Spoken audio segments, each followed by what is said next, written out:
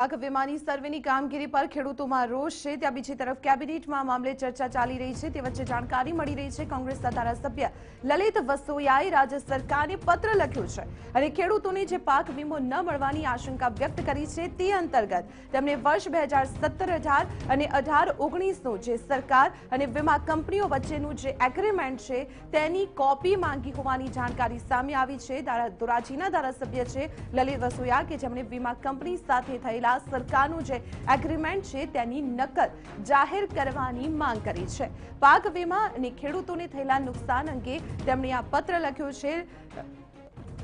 તો જે પત્રની તેમણે અ, લખ્યું છે સરકારને તે પત્રની વિગ અ, અમ- અમે આપણે તસવીર બતાવી રહ્યા છીએ આપણે જણાવી દઈએ કે લલિત વસોયાએ શક્યતાઓ વ્યક્ત કરી છે કે જે ખેડૂતોને પાક વીમા અંતર્ગત જે વીમા કંપનીઓ દ્વારા ચૂકવણું કરવાનું હોય છે એ ચૂકવણાની જે પરિસ્થિતિની જે જોગવાઈ હોય છે આ એગ્રીમેન્ટમાં આ જોગવાઈને જ હટાવી દેવામાં આવી હતી અને એટલા કારણે બે હજાર સત્તર અઢાર અને અઢાર ઓગણીસમાં ખેડૂતોને પાક વીમા દ્વારા કંપનીઓ દ્વારા ચૂકવણું કરવામાં નથી આવ્યું અને આ જ શક્યતાઓને જોતા તેમણે આ એગ્રીમેન્ટની કોપી માંગી છે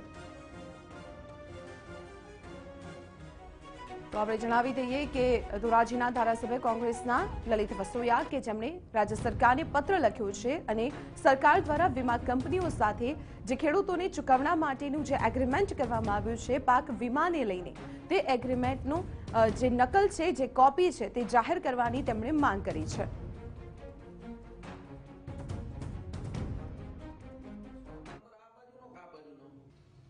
પાક વીમાના મુદ્દે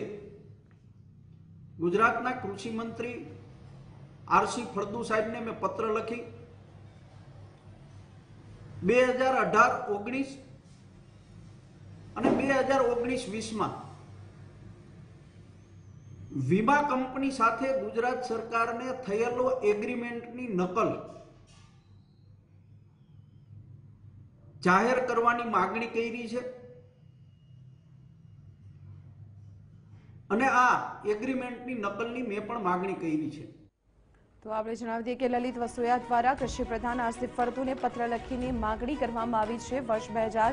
સત્તર, અઢાર અને અઢાર ઓગણીસની જે વીમા કંપની સાથે જે એગ્રીમેન્ટ કરવામાં આવ્યા હતા, સરકાર દ્વારા તેની કોપી જાહેર કરવામાં આવે.